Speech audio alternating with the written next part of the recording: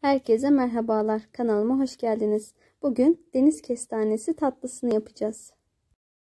Tatlımız için ilk olarak 2 su bardağı şeker ve 2 su bardağı suyu tencereye alarak kaynamaya bırakalım. 15 dakika kaynadıktan sonra bir kenarda soğumasını bekleyelim.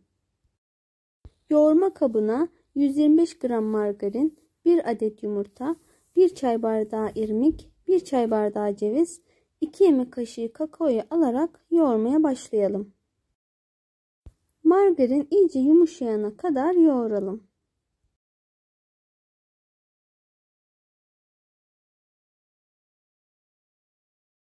Margarin iyice krema kıvamını aldıktan sonra kabartma tozu, vanilya ve 2 su bardağı kadar unu da kontrollü bir şekilde üzerine ekleyerek yoğurmaya devam edelim.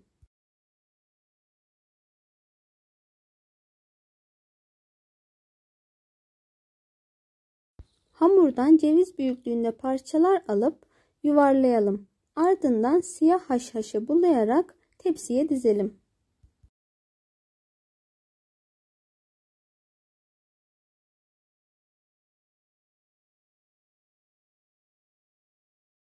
Hamur bitene kadar bu işleme devam edelim.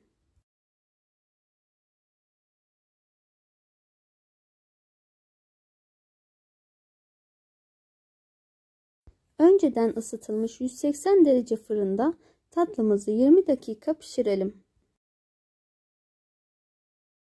Fırından çıkan tatlının ilk sıcağı çıktıktan sonra soğumuş şerbeti üzerine gezdirelim.